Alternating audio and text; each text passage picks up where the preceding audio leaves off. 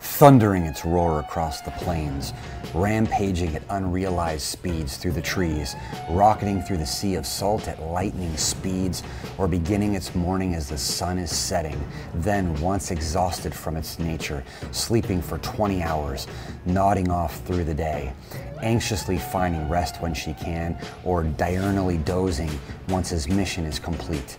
Like these four glorious creatures, you are intricately designed, and like everything else in life, you are designed with a uniqueness contrasted even to your closest kin. Designed to move, hunt, play, and create. But often, your maximal potential is thwarted by both how you were designed and in what systems, paradigms, and matrices you live. Ever feel restless, depressed, lethargic, groggy at work or school, or irrationally irritable, not attaining the things you want in life, whether career wise, relationally, or with physical training. You are not alone. In fact, at least half the population is in a state of sleep deprivation because you're not operating and training according to your naturally wired sleep type. And it's depriving you of reaching so many of your goals, which adds to the stress, putting strain on many other areas of life, including your physical training. And then, like Michael Breus, creator of the Chronotype quiz, says, trying to get good sleep while you're stressed out is like trying to make a half court shot while blindfolded. The situation is as old as time. A cursory glance at biblical literature reveals dozens of verses on sleep and stress. I will lay down in peace and sleep, for the Lord has me dwell in safety. And likewise, meditation and physical training, which all go hand in hand like the finely tuned Formula One car explosively turning the corners, or the monk meditating in the ice cold for the discipline that trains the brain and the body for life, or the high performance athlete moving in ways that makes many folks' heads spin. But not all operate this way. The light bulb went off for Breus, who metaphorizes human sleep patterns as four mammals.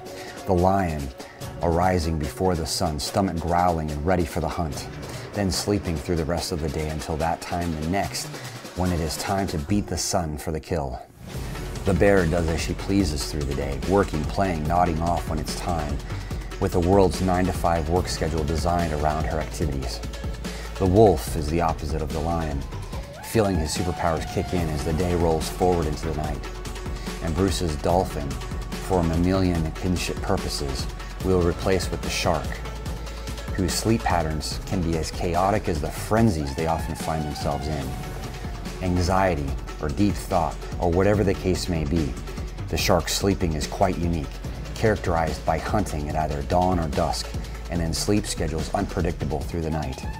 You'll probably find yourself somewhere on the spectrum, but what happens when we layer on top of that stresses of work, the worries of life, the goals left unmet, the achievements left unaccomplished?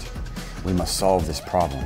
And the solution is not just taking a sleep aid, supplement, nap, or pushing through. It's in physical training, skills based, goal oriented physical training, fully integrated into your naturally wired chronotype. Then the scales fall from the eyes and the stealth fighter within is released to explode to new levels. But it always starts with introspection and honesty, then the coaching, then the goals and parameters to make it happen because everyone is unique and everyone needs a coach, mentor, teacher, sensei, or whatever you want to call it to get to the next level, which is exactly what we do on a daily basis. So make sure to subscribe, and if you want to get dialed in, then click the links and go down the rabbit hole. But again, you must train according to your sleep type, according to the layered individual that we each uniquely are, including sleep, and in contrast to what so many of the hustle addicts and ancient philosophers will tell you like Plato, who said, Much sleep is not required by nature, either for our souls or bodies, or for the action in which they are concerned. Consider Jeff Bezos, founder of Amazon, one of the recorded wealthiest people in the world, who is a bear. Where to modify Plato, optimize sleep according to our nature is required, both for our souls and bodies, and for the action in which they are immersed. Such that for lions, train first thing in the morning or in the afternoon as fatigue begins to set in. So the endorphins kick in and carry one through the evening. But that's only accomplished by hitting the gas pedal on physical training to get the necessary hormonal release at the right time. And by acknowledging your sleep patterns and integrating that into your work schedule and daily life. And for the bear, The same holds true, just in different patterns, with training occurring late morning or early afternoon, thus stabilizing the day as well as forcing nutrient consumption at the proper times so that the body's composition is maintained.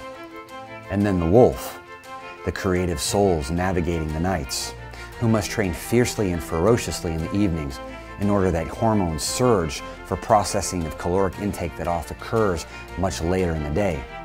And finally, the shark, who according to its own nature must adopt a paradigm for life that comports with its more intricate mental framework, training early in the morning to calm the waters for the rest of the day, or training late in the day to calm the mind for rest.